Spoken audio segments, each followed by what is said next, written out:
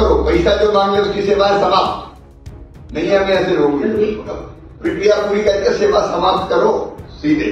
क्योंकि जो लोग पैसा मांग ले गरीब से उसको शासकीय सेवा में रहने का कोई हक नहीं है।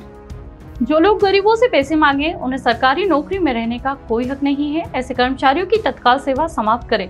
हमें ऐसे लोगों की ज़रूरत नहीं है। मेरे पास कई शिकायतें आई है। यह सब बातें सोमवार को सीएम शिवराज सिंह चौहान ने शहडोल ज़िले की समीक्षा बैठक में कही। सीएम ने जल जीवन मिशन की धीमी रफ्तार, खराब सड़कों, शहरी आवास योजना को लेकर नाराज़गी ज़ाहिर की।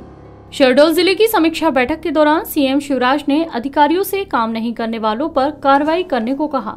नल जल योजना के क्रियान्वयन का सही जवाब नहीं देने पर एग्जीक्यूटिव इंजीनियर को फटकार भी लगाई। सीएम ने कहा, मुझे सीधे बताओ जुलाई तक कितना होना था और कितना काम हुआ है। यह नहीं चलेगा।